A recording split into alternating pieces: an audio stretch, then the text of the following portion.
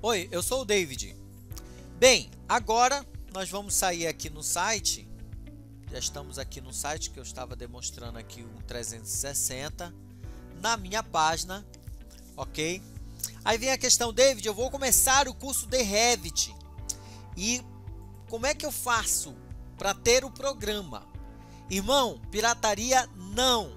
Você tem a Autodesk, tem uma versão educacional, uma versão estudantil, tá legal? Para que você possa baixar e utilizá-lo, tá certo? Então vamos lá. É, você coloca assim no Google, na pesquisa, Revit estudante download. Acho que é assim. Vamos lá, vamos ver o que, que ele vai mostrar.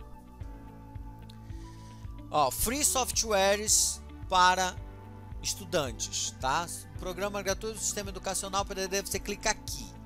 Aí o que, que você vai fazer? Você vai criar uma conta na Autodesk, é gratuita, não tem problema. Autodesk é uma empresa super top, tá legal? Eu já devo estar tá logado aqui, aí vai ficar meio sem graça, né? Mas eu vou deslogar para mostrar. Aí você vai, é, não, não estou logado. Aí você vai entrar aqui, ó, em assinante ou, em, ou entrar com a sua conta. Ele vai entrar aqui, ó. Aí você escolhe é, ou criar conta, né?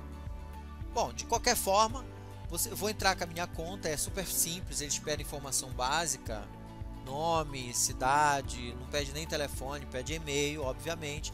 E é um cadastro simples e gratuito, você não precisa ter medo nenhum, tá? Que é uma licença oficial. Isso é muito importante e ela dura, por, se eu não me engano, por 3 anos. Tá certo? Então eu vou logar aqui. Tá dando uma mensagem aqui de cookie, não sei o que. Eu vou fechar esse negócio aqui. Então vou entrar aqui com a minha conta. Ó. Pá.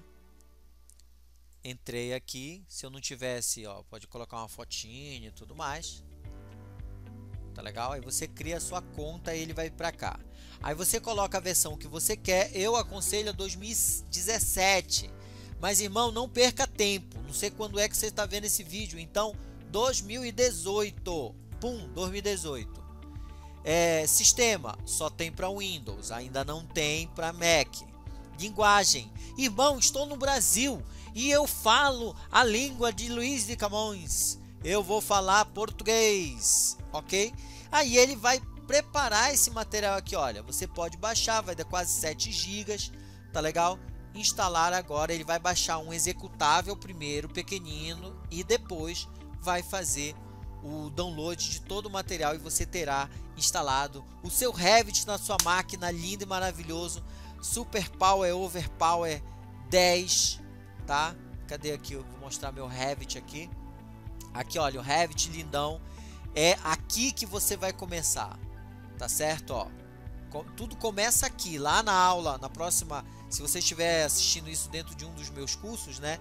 Provavelmente a próxima aula é quando você vai pegar o meu template, vai começar a sua aventura dentro do Revit. Ou se você estiver me ouvindo no YouTube, irmão, comece a estudar, seja pelos meus vídeos, seja comprando um dos meus cursos, tá legal?